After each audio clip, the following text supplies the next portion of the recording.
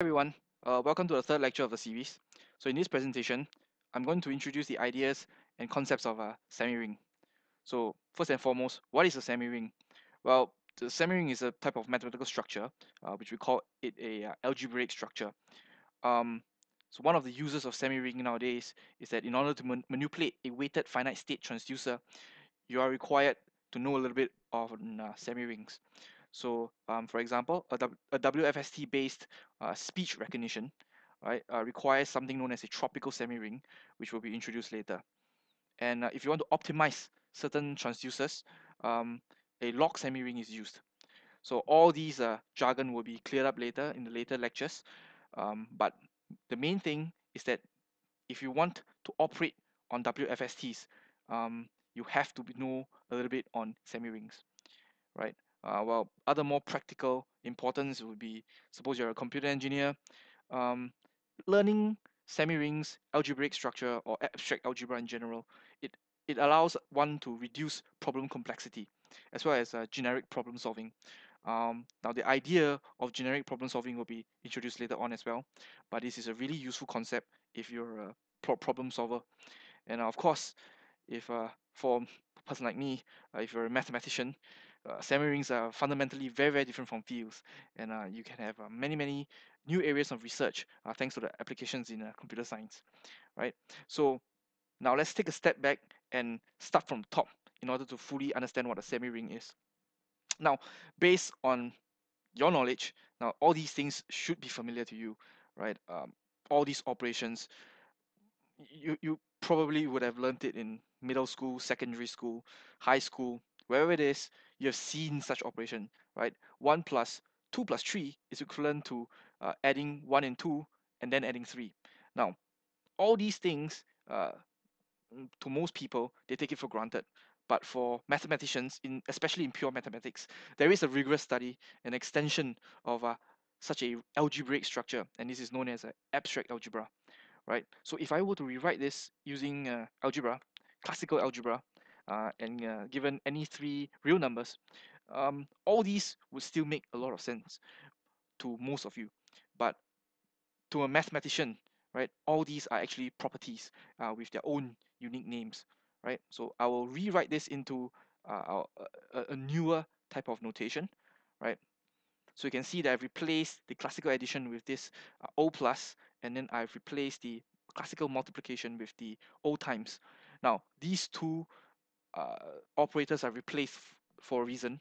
Um, mainly is to not confuse you uh, uh, and hopefully you don't confuse yourself that these um, doesn't mean classical addition or classical multiplication. It just means that these are some abstract operator that you have not seen before. However, you know that these operators behave in this particular way, right? For example, you know that this addition operator ha uh, has this thing known as associativity, where you, you when you add y and z together, it's equivalent to adding x plus y and then z together, right? And uh, of course, you, you realize you can flip x x plus y to y plus x, and this property is known as commutativity.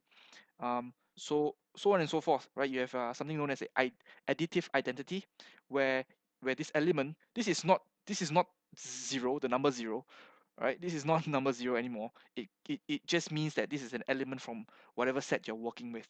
So for example, uh, so you have x, o plus this additive identity, it gives you the same element again. So the multiplicative identity works the same way as well. This is not this is not the number one, right? It's denoted as one bar. Uh, hopefully you don't confuse yourself as with uh, the number one. This is this is certainly not number one. It could be anything, right? At the same in, in the same context is that this minus x negative x is not the negative of a real number uh, of a positive real number. Um it just it, the whole the whole thing itself is symbol and it's, it, it symbolizes the additive inverse itself. So if you take any element and then you add with its own additive inverse right it gives you the uh, additive identity similarly this this is not a real number raised to minus one of a power no it, it actually symbolizes a uh, a multiplicative inverse so if you take an element and then you multiply it with its multiplicative inverse it gives you one bar the multiplicative identity now uh, of course uh, x cannot be the uh, additive identity, right? So and then you have left and right distributivity, distributivity, right? And uh, it looks ex exactly like how a real number would uh, look like.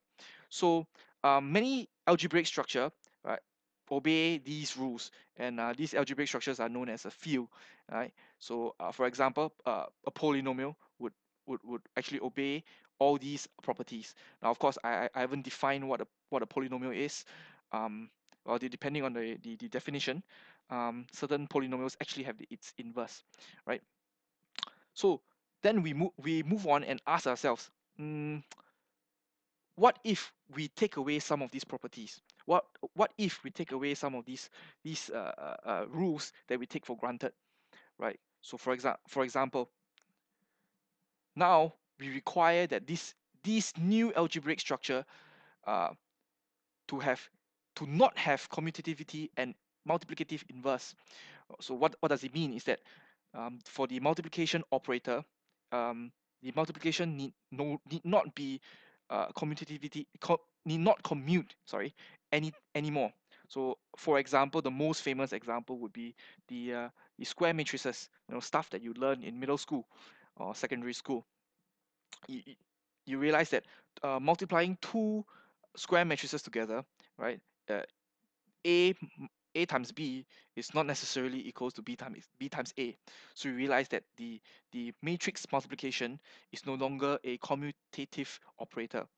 At the same time, uh, given any square matrix A, um, its inverse may or may not exist, right? So so this this entire structure that you have seen before is actually known as a ring, a ring. So we are almost there.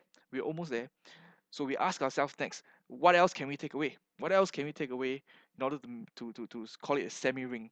So now, now let's weaken the structure further. Okay, let's let's consider the case now where the additive inverse may or may not exist anymore. Right now we are left with one, two, three, four, five, six, and seven rules. Now if if a algebraic structure right, uh, obeys these seven properties, we, we call it a semi-ring. Uh, the um, the less known example, I suppose, is is the probability, uh, probability over the interval zero one. Uh, you realize where uh, uh, if you were to define the operators as the classical addition and classical multiplication over the interval zero one, you realize that there is no uh, additive inverse as well as there's no multiplicative inverse for the probability semi-ring, right? So so we all of these things we have seen before, but it's just that we we haven't really formalized it and formally call it a semi-ring. So this is uh this is basically abstract algebra, uh, the, a short introduction at least, right? So a short recap is that we have, we have been introduced informally to fields, rings, and semi-rings, right? And if you want to learn more, um, do take a look at these two books, uh, Speech Recognitions, Algorithms Using fi uh, Weighted Finite State Transducers by Ta Takaaki Hori, and uh, uh, Mehryar's Mohri's uh, paper on speech recognition with weighted finite state transducers. Uh, they are pretty good read and uh, pretty good introduction to uh, semi-rings as well. So I hope to see you in the next lecture.